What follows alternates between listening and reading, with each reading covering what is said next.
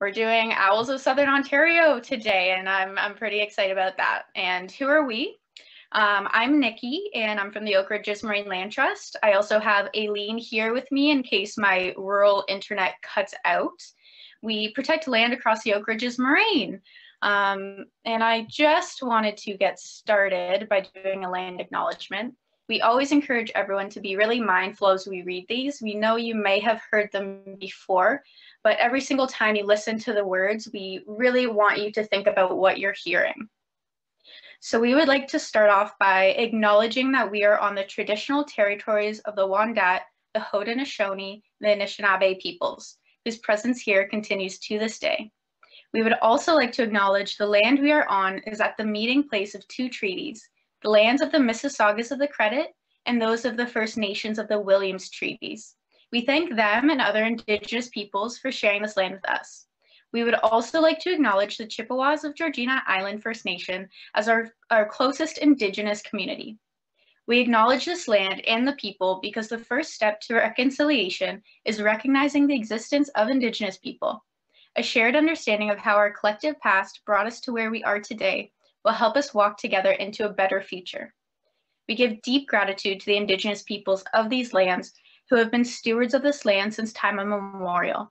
The Oak Ridges Moraine Land Trust endeavors to honor the land and its treaties by strengthening our relationship and responsibilities to them. Thank you, everyone. I just wanted to note that it's not only important for land conservation to really take a interest in this, but also everyone across Canada and North America. Now, what is the Oak Ridges Moraine? Um, you may not have heard too much about it. It is a geological feature that was created 13,000 years ago during the Ice Age and is covered in a unique habitat for species at risk, as well as being a source of fresh water, which is something Canada is known for.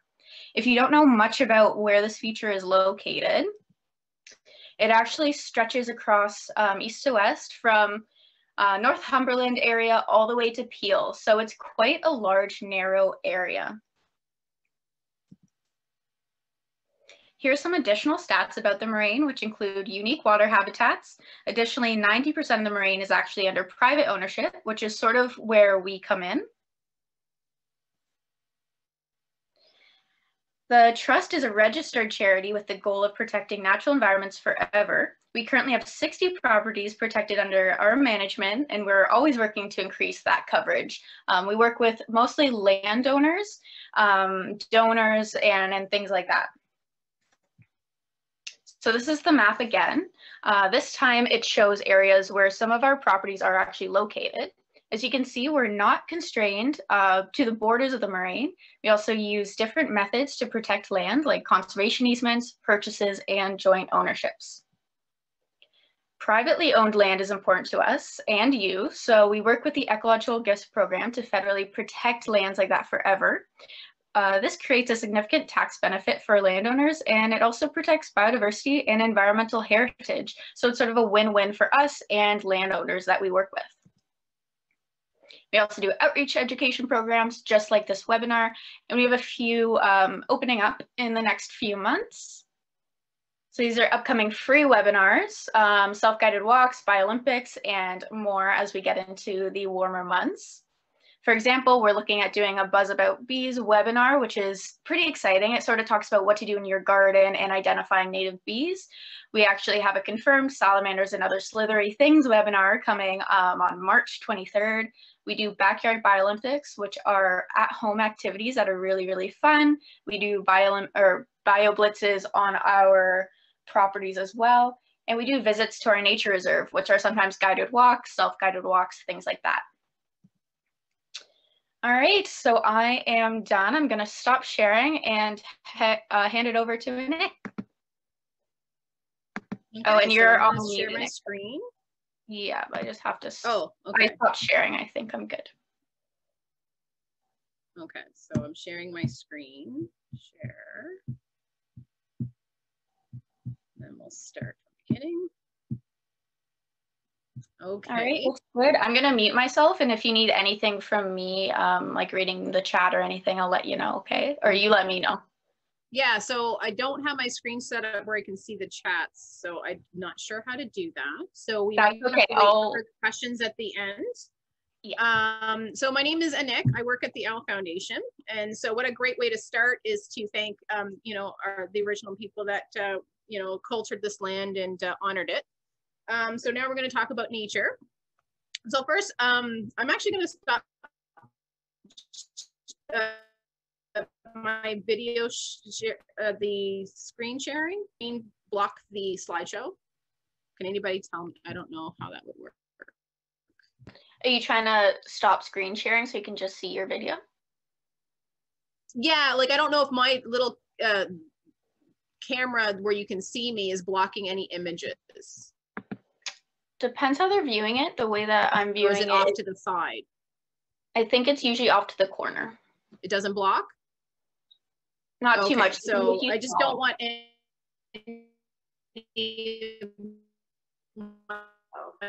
slide Yes. Um, everyone says okay. that. So, anyways, who we are, um, and we. Oh, oh, I see the more. Here we go. Can I see the chat screen? Not blocking my view. Voice is breaking up sometimes. Screen looks good. Okay. So, unfortunately, we have rural internet.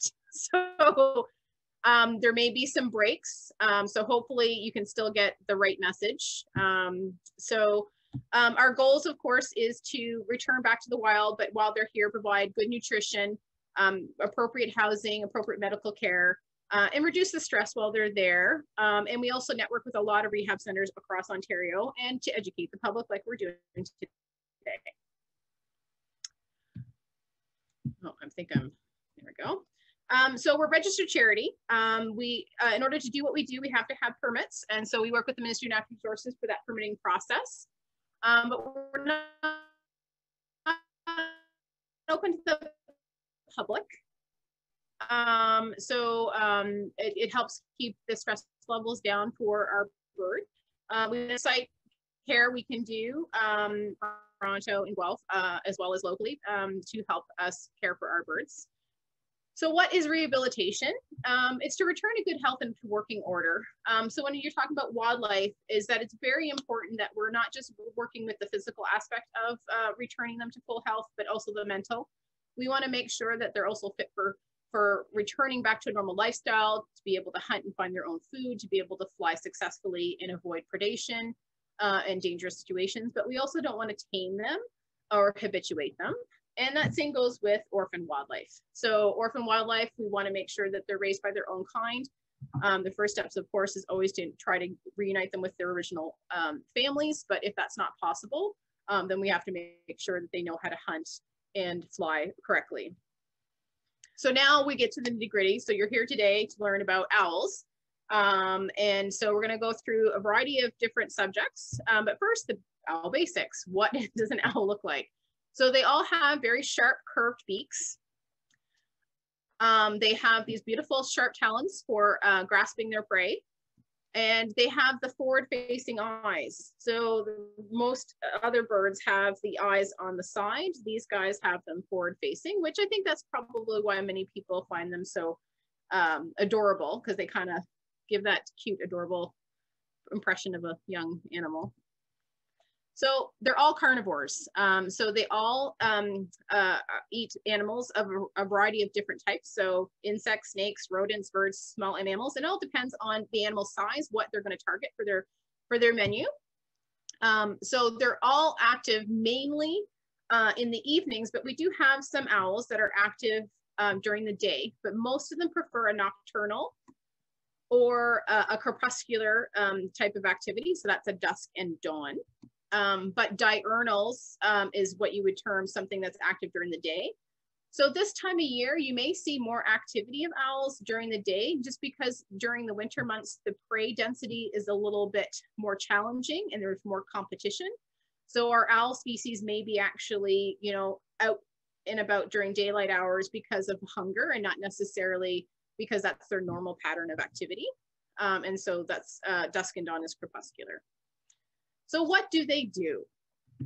Well, they hunt a, a variety of ways. So they can either hunt on the wing, they can perch and stoop, or they can hover over a field. And again, it's species specific as to what their preferences. Doesn't mean that they would take one or the other, um, but they do have uh, habits just like we do. um, they blend very well in their um, environment. And I think that's why a lot of people struggle with finding them um, because their plumage is specifically designed to be hidden. Um, and you also have to remember, especially for the smaller owls, that they also have to be worried about being preyed upon. So we have two screech owl images that are, you know, on the right side of your screen uh, and they're popping out of a cavity. And then you have actually uh, two short-eared owls hiding in that image. So you can imagine if you're walking in nature, how you could easily walk past them and not even see them. So they all make really cool sounds. Uh, one of the common um, mistakes people make is that uh, they think that they all hoot, but they don't. So the great horned owl has, I think, what I would consider, consider the most common owl sound. So the sounds are a little harder to hear. So I'm gonna stop talking.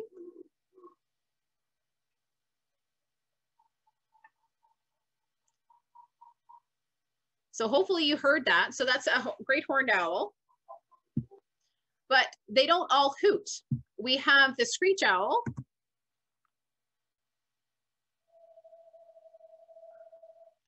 That's more like a trilling sound.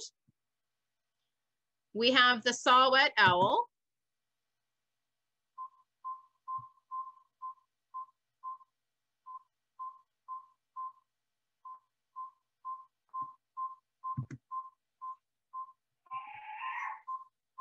We have the short-eared owl that has more of a scream. And then my favorite that throws everyone off is the lovely hawk owl.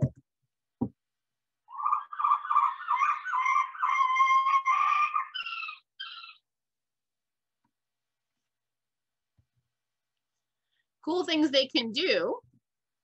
They fly silently. Um, the flight, uh, the silent flight comes from the adaptations of their feathers.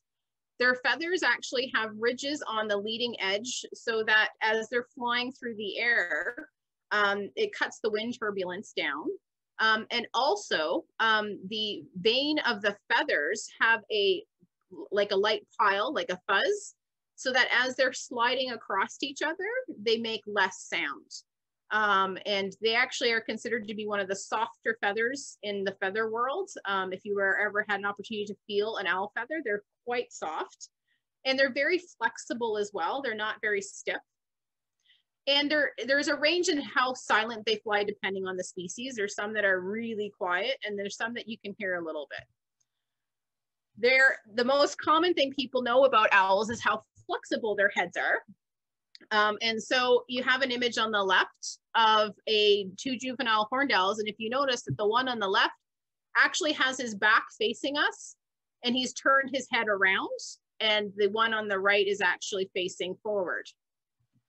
Then we have a, a foster mom with a juvenile. And so she's looking behind her and she can actually even turn a little bit further and she could even go another 15 to 20 degrees further to the right. So this is the common range uh, of motion that they can do with their necks. Um, some of it is just because they have a ball and socket joint on uh, as, the, as the last vertebra connection. Um, and uh, I'm seeing a lot of little chats. I'm just gonna take a moment. Oh, okay, so that's great, okay. I just wanna make sure there wasn't an issue.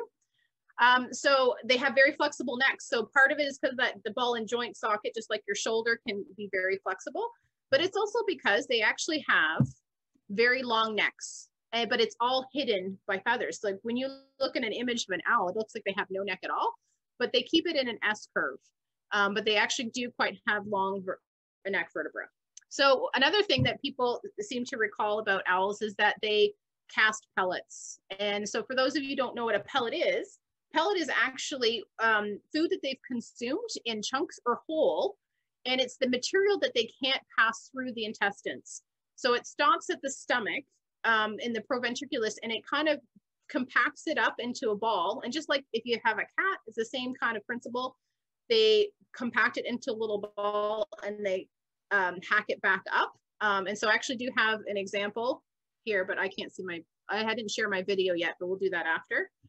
Um, so the, um, the uh, pictures on the right is just them on the ground.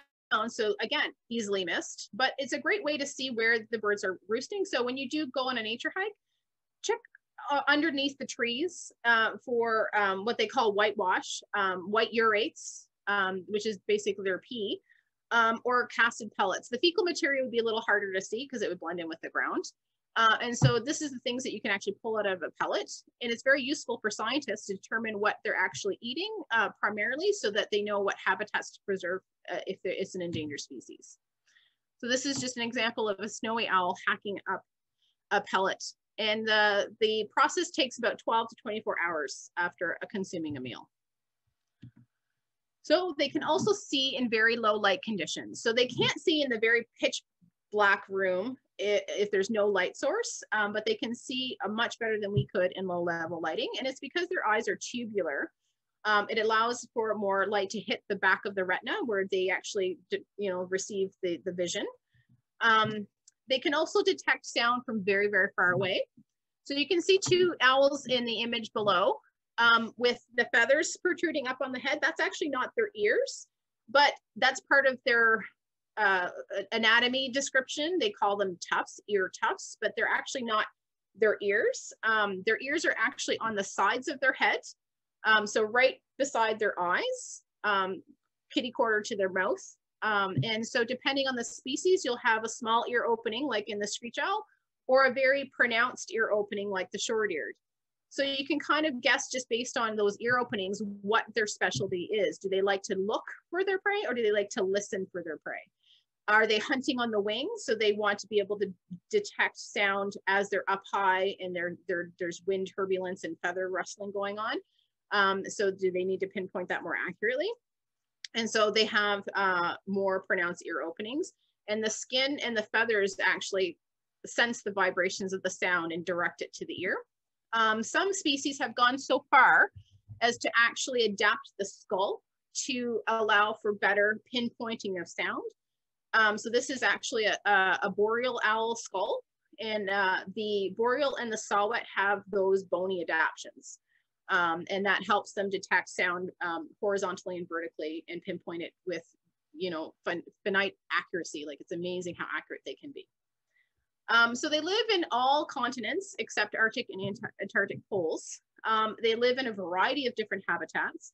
Um, but when it comes to nesting, they're a little on the lazy side. So they don't actually build their own nests. They utilize existing nests or structures. So tree snags, rock ledges, artificial nests. Um, and uh, so they don't do a lot of maintenance um, and they don't create their own. So they steal other people's nests. So squirrel uh, drays sometimes are utilized. Um, so parental, they're very, very good parents. Um, so their babies are born helpless. So um, a lot of parental care is needed. Um, so a term is called altricial. Um, so they actually, um, you know, lay an egg that, uh, you know, cute little fuzzy, very minimally feathered bird comes out of the egg. Uh, and so it's very important that mom keeps them warm. Um, so she has to provide shelter and food for her, her little nestling. Um, and then dad will provide meals for the mom. Uh, and as the babies uh, develop and get older, um, they can actually be fed directly by dad. Um, but both parents are very protective of the nest, and so both can, um, you know, uh, be defenders of a nesting site. So we're going to get down to the nitty gritty of each bird species, but first, uh, species classification. Um, so we're all classified, even we are. Um, so we're all part of the kingdom Animalia. Um, we are all part of the phylum Chordata, which is uh, uh, basically we have a solid backbone. Um, but for us, we're part of the mammals, um, the class of Mammalia. Um, and then for owls, they're part of aves. Uh, and then you break it down to families and genuses and species. Um, and so um, the reason why I kind of brought this to your attention, because the next slide, we're gonna actually break it down into family groups um, as well as in genus so that you can see which owls are actually closely related to each other. Um, so we only have uh, uh, in North America one Tyto uh, in the family Tyto, and that is the barn owl. Um, and the rest are in the strigid groupings. Um, when you look at, um, if you go back to this slide, uh, when you look at Strigidae and Tytonidae.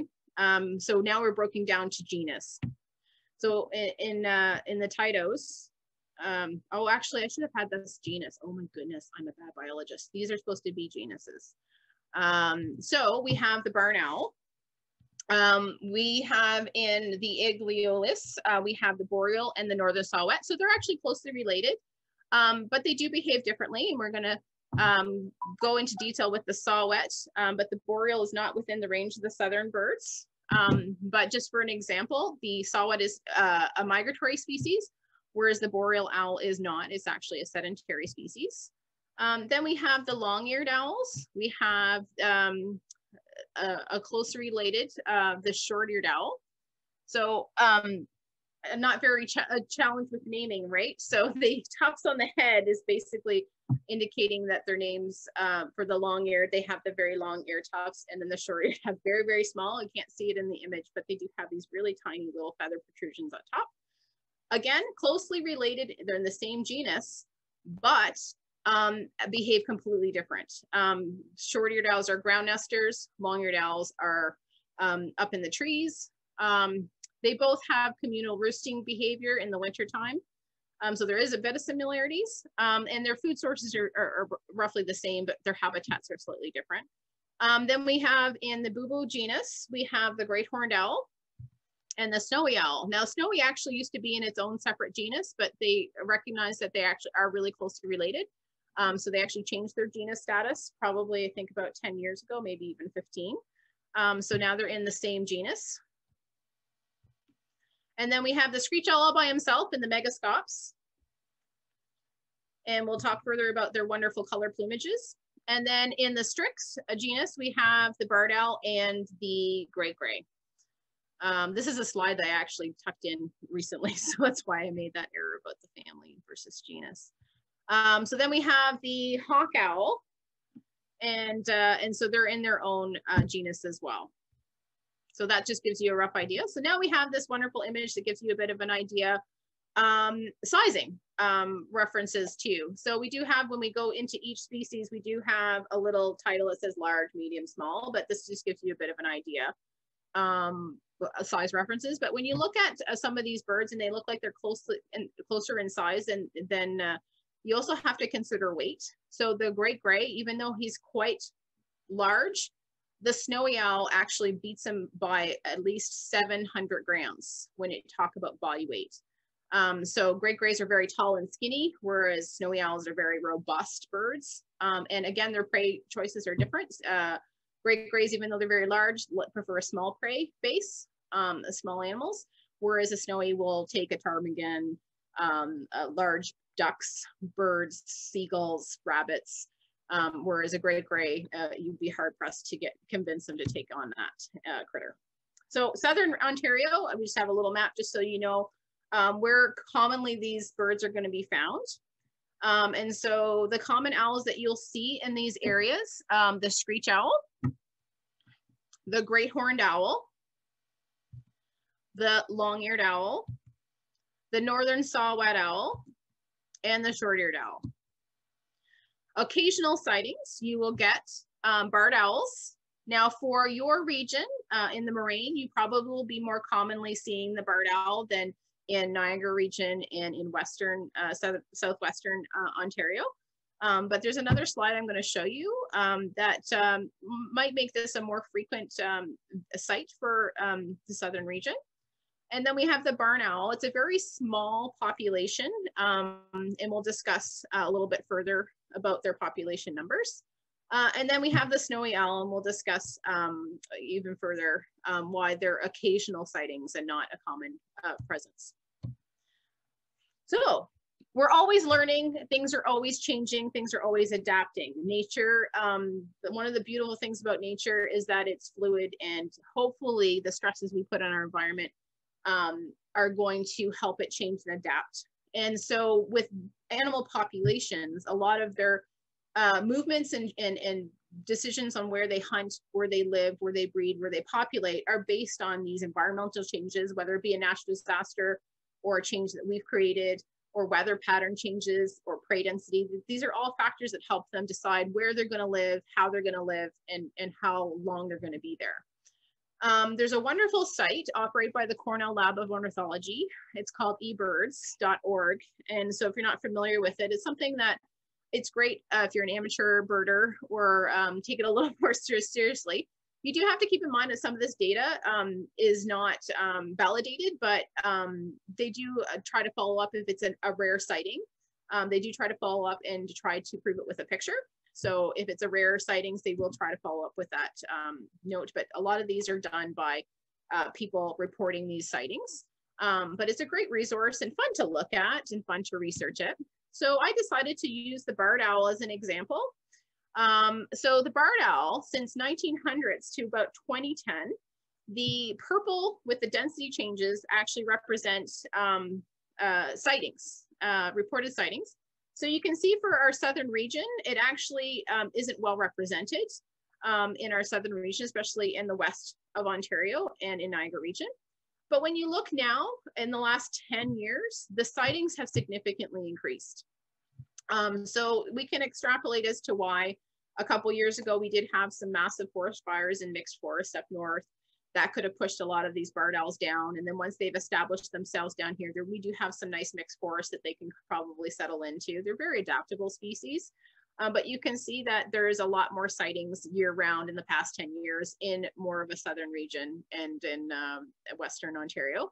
But still in the summer months, there is still not as many sightings. Um, so what we have to then maybe consider is that some of the sightings that are happening um, during the fall and winter are displaced juveniles, dispersing juveniles trying to find their own space. Because usually what happens is when a parental unit, especially a sedentary species, kick their kids out of the nest, they have to find a new space. The adults get to keep the space.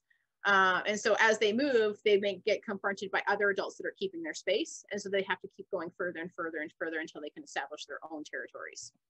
So that was just a nice point. So now we're going to go piece by piece into some of the, the species that are commonly found. Um, so again, we're not going to discuss northern species like the great gray, the boreal owl, um, and the hawk owl, but we will talk about some of the ones that are more common. So first we're going to listen to some sounds. So I'm going to stop talking because the sounds are really, you know, a, a key point that not many people have an opportunity to hear. So we're going to do a territorial trill.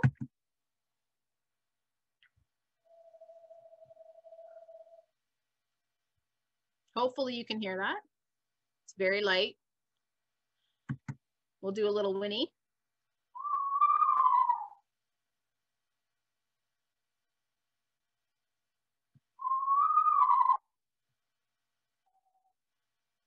And then the, the name for their their name is Screech.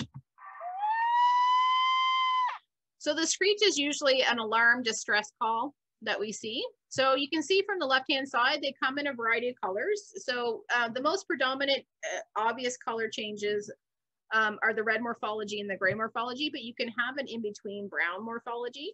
Um, what's interesting is that the red is actually a dominant color and the gray is actually recessive. And a lot of people say, well, how's that possi possible? But if you look at all the blue-eyed blonde people out in, in our environment, they are actually both a recessive gene. The blue eye and the blonde hair are recessives, and we do have a, quite a bit of people that are blonde and blue eyes. Um, and so they do see a pattern where the red screech owls is more in a drier climate with a bit more mixed forest, whereas the uh, the gray seems to be more um, uh, abundant in a more of a wetter area. So um, they are more dusk and dawn, um, and they are sedentary. So once they claim a space, um, they, they want to maintain it. So that's why, um, you know, it's encouraged to do, um, uh, when you do uh, decide to put an owl box in and they claim it, more often than not, you actually have a repeat uh, nesting. They can have up to six eggs um, and they do mate for life. So they tend to have a strong monogamous bond um, that they maintain throughout the, the, the, the whole year. Um, and uh, woodland habitats they can they do really well in urban settings. They're all downtown toronto. They don't need much space. They actually do well in urban settings because they also love to um, eat insects and so a lot of the city lights attract moths and june bugs. Um, they will also um, frequent ponds so they they they have been known to pick up frogs um, some have even been spotted fishing so uh, you never know so their breeding periods between march and may um, cavity nest preferred and as I mentioned, that they have a variety of small prey um, uh, items that they, they can go for. Um, and they hunt mainly from perches. So they do like to, to hide. Um, they're really well known for hugging against a tree and playing bark. So, but just be aware that they actually do know you're there um, and it is a stressful situation. So keep your viewing to a minimum. And we're going to talk a little bit of, about etiquettes near the end. Um, and like I said, do well in urban settings.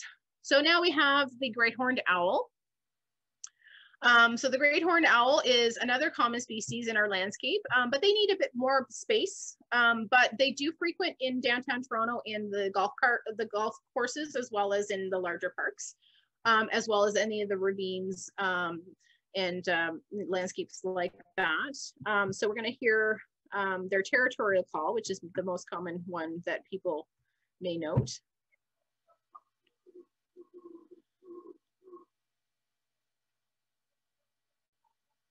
This is a call also that we hear when they're reconnecting as a partnership. They're using that call back and forth to each other as well as announcing it to other um, territories.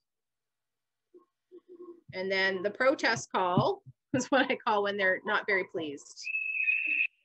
Um, So these guys are a dusk and dawn. That's where, and, and when we talk about activities, like I said, um, the, these activities can change depending on their needs and what's happening. Uh, if the prey density is low, you may see them more often in out of, of typical um, patterns. Um, but this is what their preferences are. Um, they're sedentary, they're monogamous. So once you do have an established pair, um, they maintain that bond throughout the year. Um, they claim that territory, try to get any out, outsiders out of there. Um, and they have a broad range of habitats. They're not picky. Um, again, um, February, they're one of the, they, they are the earliest nesting species that we have in Ontario. Um, so an established pair can start as early as being in a nest in January if the weather is favorable and the prey density is, is, is good. Um, but typically we see them starting their nesting phase at the end of February and having their uh, eggs hatch around March. Um, so existing stags, squirrels, drays, so they're up in the trees. Um, often um, they actually share their space with red-tailed hawks. Um, sometimes they steal red-tailed hawk's nest. So if you see a red-tailed hawk nest, you might actually see a horned owl in it right now. Um, and they have a variety of prey sources um, because they're a larger bird. They can take on larger um, animals and they hunt from perch ground and on the wing. So our long-eared um, here's uh, some breeding sounds.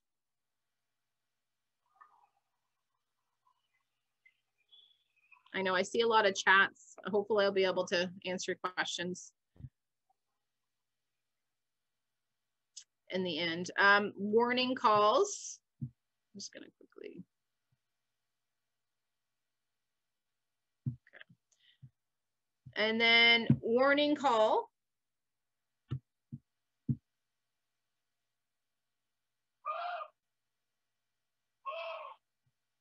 and then their bark. Lost my cursor for a second. So as to when they're using these calls, it's it's it's hard to determine because they are very very nervous species. So often um, our units for them are tucked away, and they've got lots of uh, uh, evergreen trees to give them places to roost and hide. Um, they're a very nervous, nervous species. In care, um, we have to be very careful um, that they don't harm themselves because they are very, very nervous. We call them like the Cooper's hawk of the owl world. They have that same type of energy. I don't know if you've seen Cooper's hawks in action. Um, they are migratory um, and they do communally roost in the winter. Um, so it's not that they're social; it's just that their their their their uh, winter needs are different, and so they tend to congregate in similar habitat um, very nocturnal. Um, they can have a, a, a, a, maximum of 10 eggs. Um, and uh, they do like to roost in like uh, dense evergreen. Uh, again, that nervousness probably want them to have really deep cover or dense cover. Um, their breeding is March to May. Um, they use stick nests most often, um, and sometimes they cohabitat with uh, Cooper's hawks. Um, they uh, small prey specialists uh, looking at their size, and they hunt on the wing and they can hover. And then we have our little saw-whet. Um, so our northern saw-whet is a very small species. It's actually our smallest species of uh, of owl in Ontario. Um, here's their little territorial call. They may also use this for calling in mates.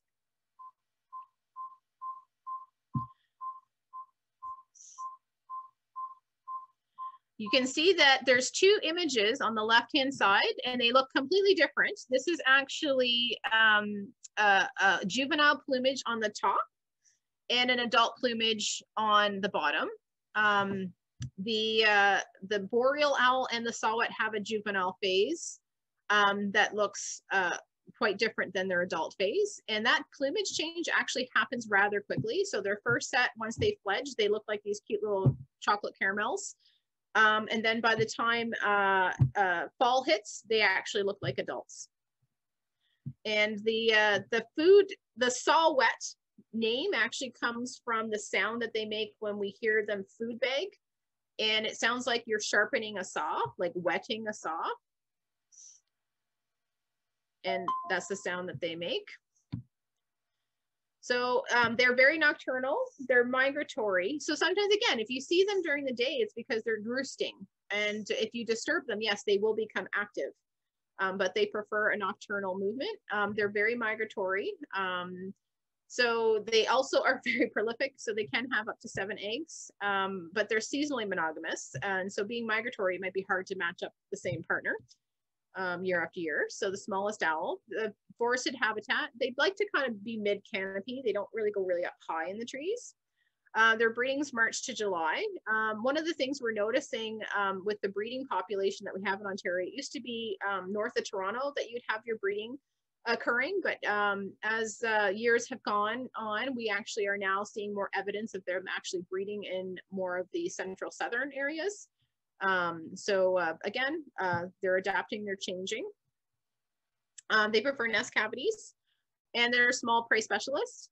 Um, these little saw-whets can actually take a bird, uh, you know, um, either uh, the same size as them or a little bit bigger. Um, so they're, even though they're small, they do have that, what I term the Chihuahua complex. So they can be ferocious little predators and they hunt from perch. Um, and they're, again, I have migratory twice. Oh, I gotta fix these slides. Um, so now we go to the short-eared owl. Um, the short-eared owl is actually a species of concern. Um, so their habitat types are reducing dramatically. Um, and so they've listed them as a species to watch for. Unfortunately, there's not a lot of um, funds going into researching. Uh, we used to actually have a species at risk biologist uh, linked to the government that no longer uh, is, is a, a position with the government. Um, so we're relying on people and sightings and uh, notifying people of um, like organizations like eBirds. Um, there might be some even some other organizations um, that are actually taking in your your sightings and monitoring their population numbers. Um, so territorial vocalization. It sounds like they're having a party. Yo! A lot of people always ask me, what is your favorite owl? And I try to be very political and like, no, they're all special. But I'm going to say that the short ear, it's just a teeny bit higher than everybody else. Um, the breeding call.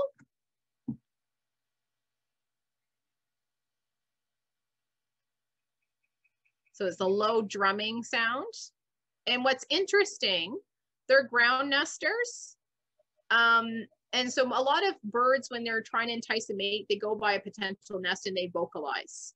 Um, the snowy owl has a very similar breeding announcement call. That's a drumming low frequency sound. And they're also ground nesters. So I found that was quite interesting that they have similarities. And that, again, they have a bark just like their cousin, the long-eared. So these guys are crepuscular. Um, they actually have a really cool um, mating dance where they actually um, are moving around up in the air and the males actually do this aerial clap sound, um, you know, to- Hi, Nick. Yeah. Sorry, I don't mean to interrupt you, but do you have a window open in front of your PowerPoint?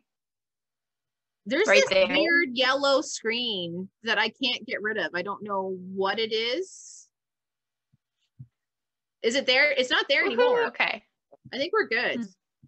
Nope, looks good. Yeah. Okay, we're good. Okay. Attendees so, are saying it looks good too.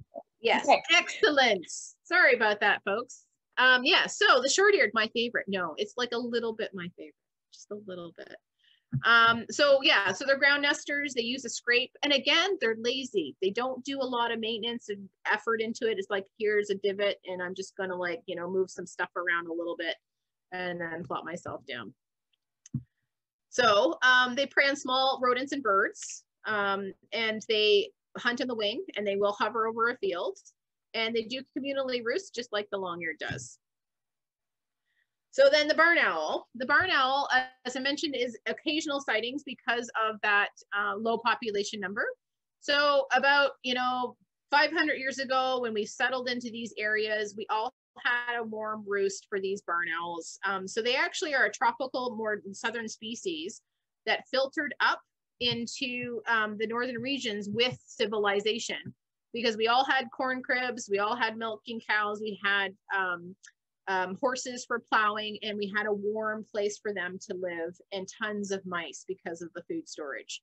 Um, and so as we, um, uh, you know, stop that kind of lifestyle and there's less and less of these farming communities that want to have access to birds and have a mouse problem, um, the habitat has decreased, but also too, their open habitat um, um, needs are dwindling just like for the short-eared. Um, so um, that's why they're kind of disappearing into the landscape. Um, but in the southern regions, they do very well. So here's a lovely scream from a barn owl. There's actually a really good curdling scream that they do, but I can never grab it when they're doing it because it's alarming. And of course, it's a stressful thing when they're doing that vocalization. Um, so it just sounds like a scream. And when they do have uh, chicks, they actually hiss like snakes. And uh, they actually do look fairly different than uh, the rest of the Strigidae. They, if you look at their skeleton, their their facial shape's a little different. Um, even just the way they triangulate. So owls in the Strigidae, when they triangulate, they use their whole head like this. But for some reason, barn owls do like a metronome. they go like this. Um, and they have that beautiful heart-shaped face. They have the chocolate eyes. Um, so there's only two species in Ontario that have that dark eye is the barred owl and the barn owl. Um, and uh, everybody else will have the yellow eyes. So that's a good identifier for you to try to at least narrow down what you're seeing in the wild. Um, so they're mainly nocturnal. Um, they, they are sedentary um, in um, areas like uh, southern states, but in our northern climate, they actually have been proven to be migratory. So we still need more information. It'd be nice to actually do telemetry on these species. Um, they breed February to June, um, but they can actually clutch more than once. Um, and uh, we've even had a breeding pair, um, you know, clutch um, in, in off season. Um, so uh, they can uh, be very prolific. they are cavity nest preferred and they primarily prey on rodents and small vertebrates and they love to hunt uh, in flight and can hover and like i said no ear tufts heart-shaped face and those lovely dark eyes now our barred owl um, is starting to be a, a, common sighting in the southern regions um, in central um, ontario. They've always kind of been established there especially in the Kawartha areas uh, like what you call cottage country and stuff. Um, they have the most i think famous call when it comes to um, trying to mimic an owl, the who cooks for you um, call is very distinct. And then we have a nesting contact call, just a little reaping. Um, so we have a juvenile on the bottom and an adult on the top. So they're a, a larger owl species, mainly nocturnal. Um, they do uh, um, like to claim a territory and maintain it.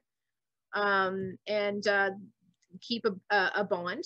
Um, they can have up to five eggs. They prefer a mixed forest type.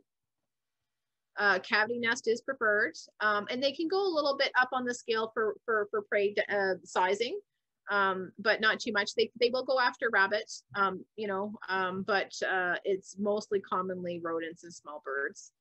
Um, they hunt mainly from the perch.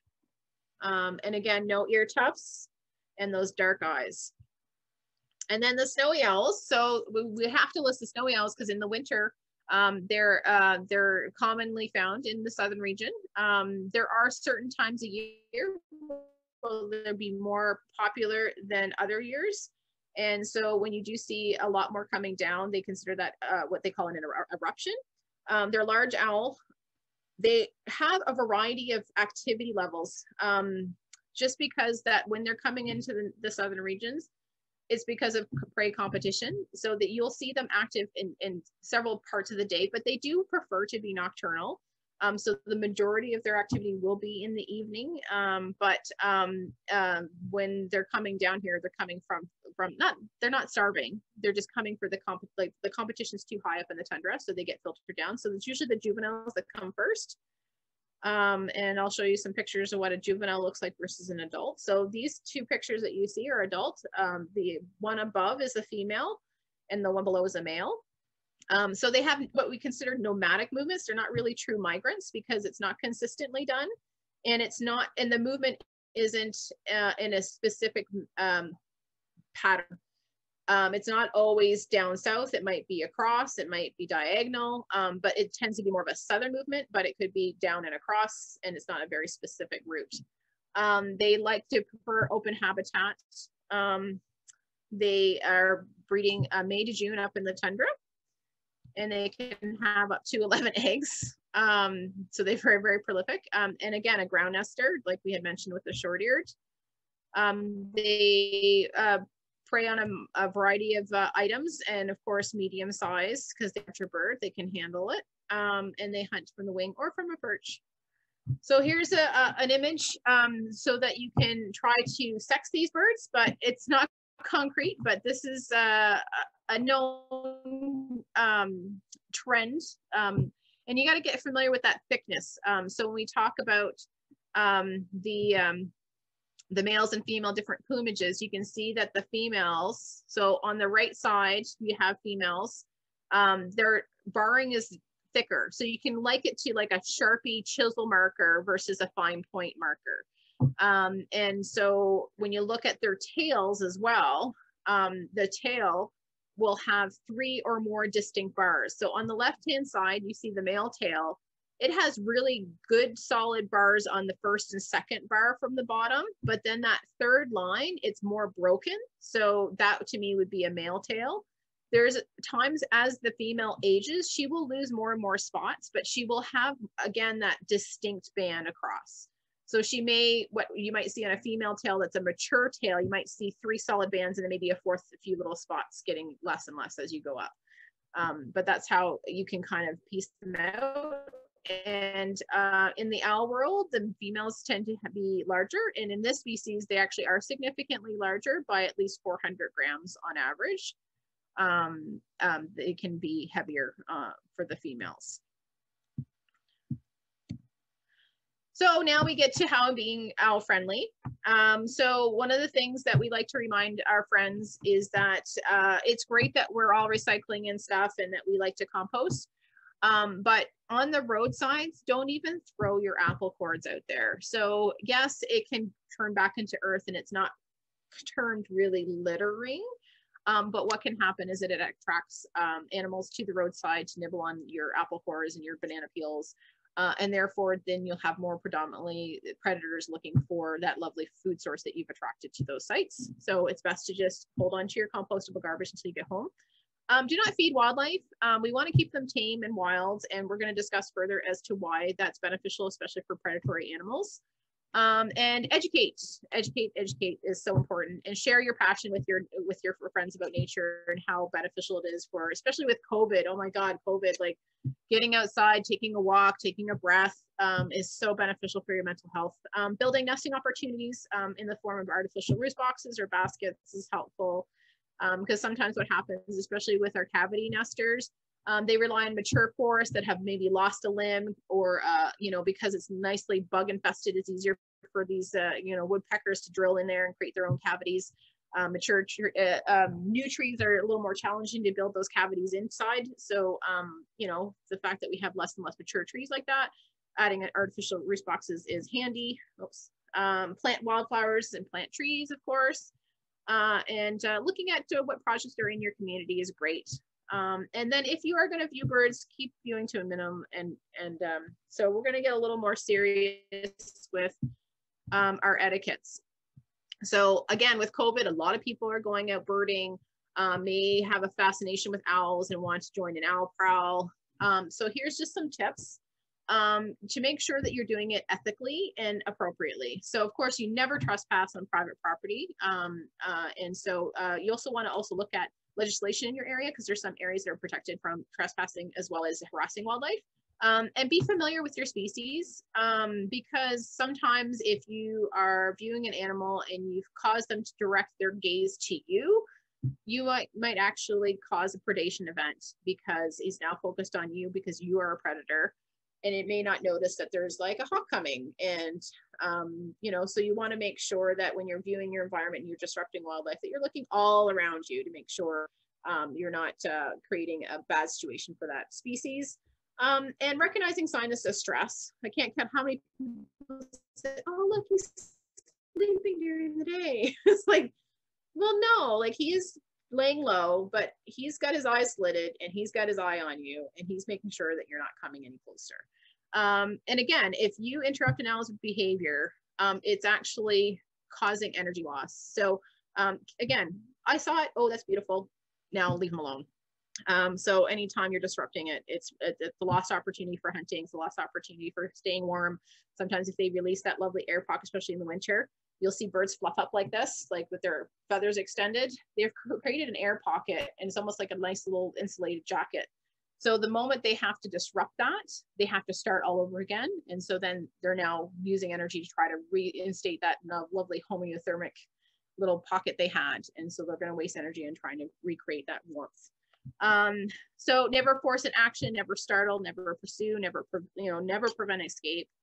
Um, and if you're going to visit a known roost site, keep it minimum, keep it brief. If it's on your property, then make a blind, you know, create like, especially during the spring, you know, plant some pea plants, put a little um, uh, lattice work so it grows so that you can spot them without being disruptive.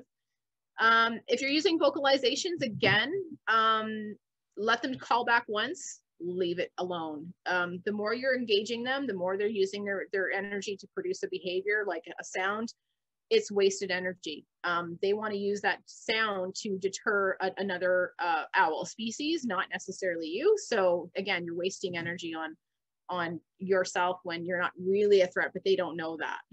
Um, and then of course, nesting birds, be very careful because they won't behave, they could get aggressive, but also too, you might delay food delivery by the male if you're present. They can become aggressive. Um, and of course, never, if come between an offspring and a parent. So then, I know we're getting more serious. um, so again, don't be fooled. If they are looking at you, then they are concerned about you. Um, if they turn their gaze away, then maybe you are far enough away. Um, but it also could be that they're just scouting to see if there is any other danger nearby. So then owl photography. Um, so again, like, you know, keep your photography brief. Um, make sure that you're always, you know, watching behavior, make sure you're not disrupting. Don't put them at risk. If it's something like, you know, you have a situation where you create a blind, perfect, or you have a portable blind, use a telephoto lens, um, and never mob. Um, you know, uh, these are really bad situations for wildlife. And then again, never bait or lure owls. And we'll discuss some reasons. We're going to try to be, I know we're a little over time. We're going to go through these really quickly. Um, introduction of uh, non-native species, um, not a good thing. They don't always get taken out. They could have diseases that affect the wild population. Um, it's not natural. Um, if it's done by roadsides, it creates unsafe situations. Sorry about the image. Um, it reduces fear of humans. Um, and not all of us humans are nice. Um, also, too, it, it could create a, a, nuisance animal, and that animal then may be harmed. Um, so, not a good situation for them. Gives them a false sense of success in a territory. So, a lot of their movements, a lot of their decisions to breed are based on food density. If you've temporarily augmented the food density for that area, it gives them a false sense that, oh, this is a great place to nest. And they end up having a good production year. And then by the time that their babies are born, are hatched, um, then it might reflect the true nature of that space and it's not adequate. Um, it doesn't challenge them. It, uh, you know, they always need to be fit, fitness ready. And if you're baiting for you know, even a temporary reason, it, it, it, it kind of makes them work less hard and it gives them, uh, you know, it doesn't challenge them as well. And then uh, may put them in direct competition with other predators when they're hunting outside of their normal hunting range. And in some municipalities, it's actually illegal. So you can always check with your bylaws. And so if you do have a situation where you're concerned about, you can actually report it. And if it's an infraction of your bylaw, they can get uh, fined. And don't ask me which ones, because I used to have a list. I think Niagara region does have a bylaw, and I mean Niagara Falls. Um, but I mean, you guys can communicate with each other which ones you do know, um, which are illegal. And just a little brief thing. Um, if you find an injured animal, please contact um, your local um, people. Um, this is just a few things that they look for um, and wait for instructions because um, you may do more harm than good. You also may harm yourself, especially if you're by a roadside. We actually just had a, a poor red-tail hawk picked up off the 403. So we notified uh, the local humane society, which uh, asked for assistance of the OPP. So anytime it's a highway, a busy road, contact OPP, say there is a wildlife situation on the road that could cause traffic issues and they will respond because they don't want anybody injuring themselves trying to do a rescue if they're not skilled. Um, and again, remember the animal is very frightened, get advice. Um, and baby animals, a little brief uh, statement on that. If a baby falls out of the nest and it's not injured, you can actually put it back. It doesn't go by smell, it goes by where they put it. Um, so you can safely put it back. Um, but it's always good to talk to a rehabber just to make sure you are doing the right things. Um, they can guide you through some of the things, or you can take a photo of the animal to make sure that um, it looks healthy and it's okay. Um, but we can definitely guide you through that. But uh, if it's just a bird learning to fly, we can also help you with that. So if it has some wing feathers and it's doing little short bursts and it looks like a little juvenile, just stand back and observe, keep your pets inside, make sure it's safe from traffic um, but just watch it learn. It takes only a couple of days for them to get a more adept at it, where they're at least going from branch to branch. Um, but uh, it may not need rescuing, so don't uh, don't kidnap the babies. Okay. So now this is all done. So now I'm going to put my video back on. Where's my video? Uh, I don't. Oh, I think Nikki has to do that because you took it off for me, didn't you? Um, I don't think I did, but I'll I do it. I, I, did. You just have to click start video at the bottom. Oh, there we go. I see it. It finally, it finally went. Okay. So now, oh, I've got sunlight in my vision. Okay. So I was going to quickly show you a pellet in person. So I'm just going to quickly do that. I'm going to put my gloves on. To try to because the pictures don't do it justice. And then we'll get to the questions. So, I don't know if you can see that. So that's what a pellet looks like. So this is a horned owl pellet. And so when you break it apart, this is where you find all the goodies. Of course, it's very old and brittle. So I'm gonna see what I can find.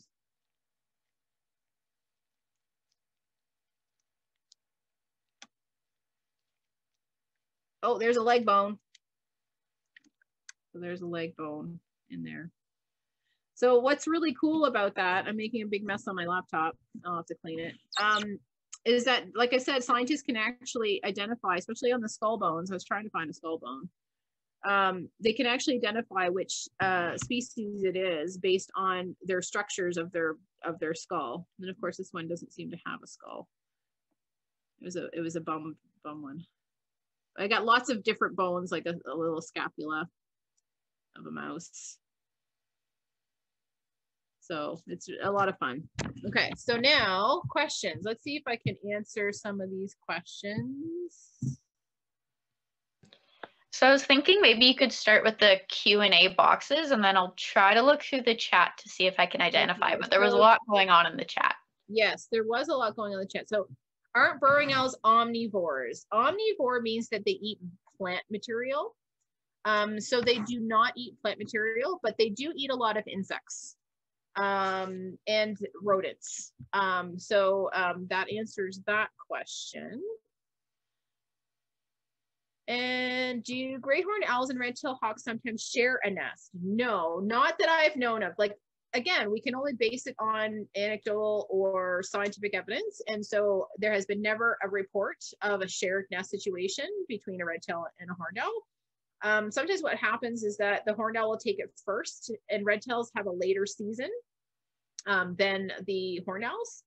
Um, so sometimes what you'll get is if the timing is right, you'll have the horned owl come in first, the, the kids will fledge, and then a, a red tail hawk will come in and use their old nest. But most times a red tail makes a new nest almost every year. Um, so, uh, but sometimes if, if it's still available, they may take over. Okay. Uh, where was the bottom picture taken? It looks like milkweed. I don't know which picture that is. Um, barn population estimates, um, again, because there isn't uh, species at risk biologist um, kind of with the government, we have to rely on the eBird sightings. And I didn't actually look to see what, what the numbers were. One thing I appreciate about eBirds is what they do is they don't post the sightings right away because they don't want um, uh, mobbing happening to especially the rare species.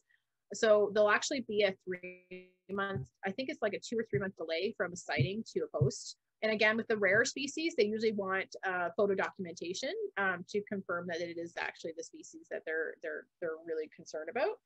Um, when did you say the owl is ground nesters? That mean right on the ground at the base of a tree. Okay, so any of the ground nesters is more of an open field, open habitat. So um, for the tundra birds, like the snowy owl, um, they're sometimes they'll use like um, a, a, a knoll, like a small knoll, just a vantage point. For the short-eared, it's usually in like a field, a grassy field. And sometimes actually it's actually a risk to them because if it's like say a hay field, when it comes time to cutting the hay, then the timing can be wrong and it actually can have uh, you know an incident with the with the mowers uh, for the fledglings. And the, the, sad thing is these fledglings, they go to ground and hide in the ground, which is uh, a riskier situation if it's a, a situation like uh, mowing a hay field. Um, the scrape is a nest. It's just a divot. Um, yes, do not post animal locations to social media. Again, we talked about that with eBirds. Um, there's always a delay in where they put it. Um, and so social media is really good. Like a lot of these, um, especially Facebook, there's a couple of sites, what they do is that only like only municipality and the municipality of it's here um, just so that you can share where you're doing it, but not necessarily the location.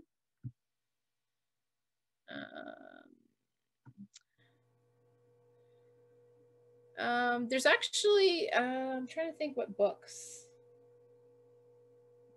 I'd have to get back to you on that. Um, okay, so when you're talking about looking at posture um, for stressed out birds, um, so tend to when a bird is roosting they tend to be skinny and camouflaged and blend in. So the first posture that they do is a really straight elongated skinny posture. And if that's not working and their camouflage is not working what they'll then do is actually fluff up and make themselves look bigger. Uh, and that's when you might actually hear a beak clacking uh, sound. And it's just their upper and lower mandible coming together and they make like almost like a snapping sound like that um, and then the next would be if it doesn't work, they may actually even make themselves look even bigger and expand their wings out or uh, fly away. Um, but the first step is like, I'm skinny, I'm blending, you can't see me. And then the moment they start fluffing, then that is, I'm bigger, go away. Um, I have a screech owl box that we had screech owls come for a week a month ago. They have not come back and we had to evict squirrels every week uh, we use stick and bang the house. Do the squirrels chase the screech owls away? Will a dog in the yard scare them away? Did not seem concerned the week before.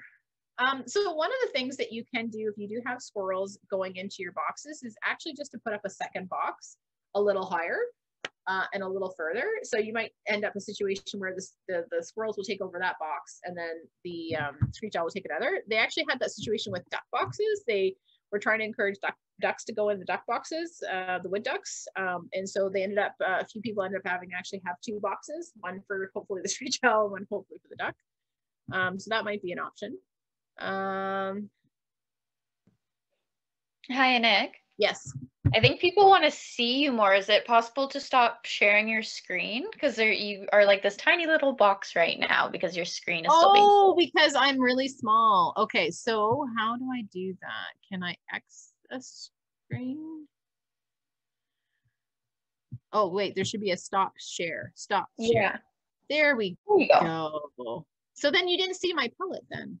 Well, Not as well as we could have, I guess. yeah, it's not a very good pellet anyways. Like I said, like I had like one little one little leg bone. I was hoping for a skull, but it didn't quite work out the way I'd hoped. And that's the thing, you never know what you're gonna get. It's like a box of chocolates, right? It could be a really cool pellet. Like in uh in spring, um, often with screech owls that come in, we actually get June bug pellets. And so it actually doesn't hold very well because there's no fur to mat it together. It's just a whole bunch of little legs and wings. Um, those are really, really cool. And again, I have the sun in my face. Um, and so, okay, going back to the questions, I might be able to just hang on. Let's try that. Okay. Um, Oh, thank you. Somebody just said excellent. Um, beyond the borders of Ontario, the barn owl historical range, the population stable level or considered risk. It's still considered a risk. Actually, at one point they actually listed them as extirpated in Canada. Um, now they're just listed as endangered. Um, so again, birds are adaptable. Um, if they have, um, uh, you know, abilities to adapt or find footholds um, because competition with other birds of, uh, of prey is a concern. Um, but again, like the more habitat we can preserve, um, the more we can be aware, the more we can, you know, um, help out with uh, roost sites. Uh, um, again, like they're like, we do, like I've seen barn owls in the wild, um, not very frequently, um but they do they're still in the landscape it's just that they're so the population's so small it, the sightings are pretty rare. I believe there was a sighting uh i think burlington. Um there was an image taken and it was confirmed it was a barn owl so so they do they they there are in the area so hopefully they can get get a foothold. But again in the southern regions in the united states um, they're abundant. They're one of the more common species that are actually brought into um, rehabilitation in New Jersey um, and that's not very far away. So, um, so it's not a species that is uh, critically endangered um, for a global uh, standpoint, like the burrowing owl and the spotted owl. Um, but um, it's still uh, something that we just want to maintain here in Canada. Uh, would any bigger owl take pets, cats, or small dogs? That's a good question. Um, so especially during the nesting season or when prey density is tight, it's not typically part of their menu. So one of the things I like to share with people is that when owls are raised by their parents, they have a food menu that's delivered to them. When they become independent, they look at that food menu and they try to replicate it. So they watch their parents hunt specific items um, and, and they go for that as their first choices. If they are desperate, they are hungry, and it looks like something that they might potentially be able to match up with a previous image, like say a rabbit, they had rabbit as part of their diet, but they would look for a rabbit. But if food is really scarce and they can't find a rabbit and there's this really cute small fuzzy dog or really small cat, they might go, well, it doesn't look like a rabbit, but it's close enough, I'm going to make an attempt. They don't any predator don't want to risk injury. They'd rather go with something that they know their defense mechanisms. And so they want to prefer to go for those items. But if they are hungry, they will risk injury to attempt to catch something. So it's not part of their regular menu, but it is still a potential. So if you do have a small cat, well, we, we, we're proponents of keeping cats indoors. Um, my cat's leash trained. She's an indoor cat, but she gets to go out on her leash um, it's just better for your cat and for wildlife. You know, your cat can get into so many dangerous situations. Your neighbor doesn't appreciate the poop in their gardens, but also too, like they can get into, uh, even if your cat's fixed, there's communicable diseases they can get from the feral population. Um, so there's just too many risks. So why do that? And then when it comes to your small dogs, um, uh, you know, like they, some of them do look like pretty small little rabbits. Um, so just make sure you're with your dog. Don't let them out late at night uh, unattended. You know, some people have fence yards and they trust that everything's going to be okay. um, it may not be the case. So it's just always be better to be cautious, especially during the nesting season.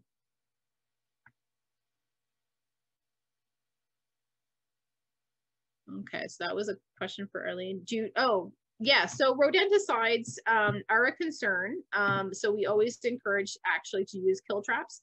Never use glue traps either. Um, they, they, they tote them as humane, but is actually quite inhumane because they're actually stuck. And sometimes if you don't take them off carefully, they can actually have their skin uh, peel away. Um, so, and also it, it may target other animals. So um, we always recommend the, you know, it's not as pleasant for the person using them, um, but we believe in the kill traps versus any kind of poison or glue trapping. Um, and of course, you know, like look at your property and look at how you can curb them coming into your home. Um, so um, rodenticide test, we base it on um, what our um, um, examination tells us, um, but there was a study done uh, recently with any of the necropsies that we sent to the Canadian uh, Wildlife Health Center. so they did do a study. And so there is uh, low levels in most birds. Uh, and then there's some that actually have peak levels that could be a concern for their health um, but we always are a proponent of using kill traps instead of um, rodenticides. Volunteer opportunities for many organizations right now because of COVID are pretty minimal.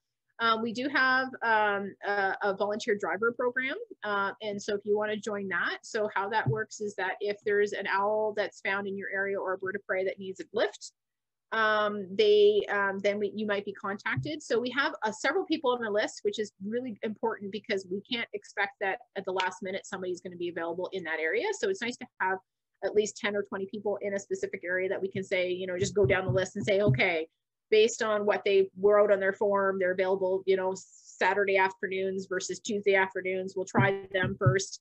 Oh, they were busy, we'll go to the next person. So um, I believe on our Facebook page, you can message us and ask for a form and you can fill that out. Um, so predators, um, other birds of prey. So um, any small owls, they can get taken by larger owls. Um, long ears sometimes will take uh, out little saw-whets. Um, and um, actually there was a really cool image that somebody shared on Facebook of a great horned owl knocking a bald eagle off its perch. So, so there's competition and they may not be like direct predation events um, where they're trying to actually target and eat. It might be a defense system, like to say like, I don't want you in my area, you might eat my kids. Um, but there is actual predation as well, where you actually have a consumption. So um, we could, you could have a great horned owl consuming a bird owl. And again, it's survival of the fittest. Um, most predators target, you know, by surprise or by looking for weaknesses. Um, and so one of the things I like to share with people is that predators are an important part of the health of a population. They usually tend to take out the slower, the less aware, you know, so that the ones that are left are the ones that are faster, quicker, healthier. And those are the ones that are part of the next breeding population. So if you look at it that way, then you might uh, have more respect for these predators and they all work in con conjunction with each other.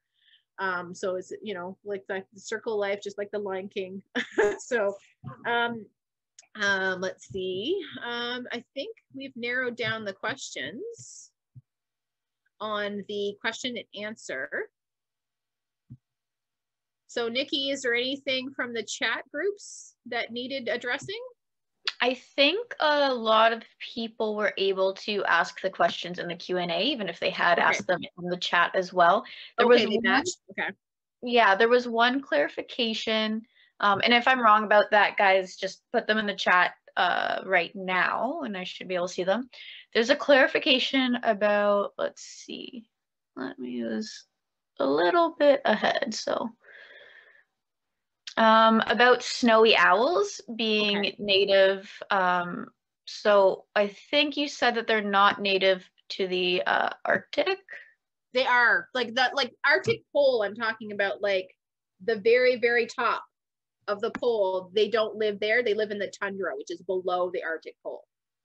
Okay, yeah, I think that was just the clarification. Some yeah. people thought you're saying that they're not native at all to that area. Yeah. Um, so so when you look at your globe, you have the Arctic pole up here, then the tundra comes down. So they're in the tundra area. So there's no animals that live on our Arctic pole like in the owl world. It's just in that lower range at tundra. But you never know with climate change you may then get more movement of prey species that therefore they follow the prey species, right? So predators follow prey. So if we lose our, our Arctic ice uh, to a point where you get an established prey density right at the Arctic pole, you'll have them move up, right? So um, they're very, most populations are driven by food source, mating opportunities and territory. So wherever they can find it, they'll move and fluctuate and model themselves to that. Great. I think I think that was everything. You're yeah, the, a good point um, uh, from Pat. Yes, northern harrier hawks and um, and short-eared owls uh, use the same habitat, and because they prefer a, a different timing, um, they actually cohabitate really well. Okay, so you're just getting lots of thank yous. Oh, that's so nice. And sorry about the mix up with the, the screen. And then, like I said, I made that boo-boo on that one slide with the family versus genus.